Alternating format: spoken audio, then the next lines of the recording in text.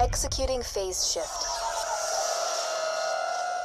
The key is here, but to truly stop Jack from waking the warrior, you cannot just steal the vault key.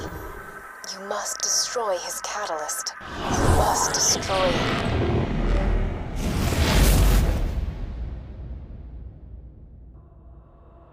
Me. Jack spent years pumping me full of Eridium, using me to charge his key and manipulate his enemies. Destroying the Eridium injectors that keep me alive ah. will stop the key from charging, and it will end a lifetime of servitude. Now, You get the hell away from my daughter! What the hell are you doing? Angel!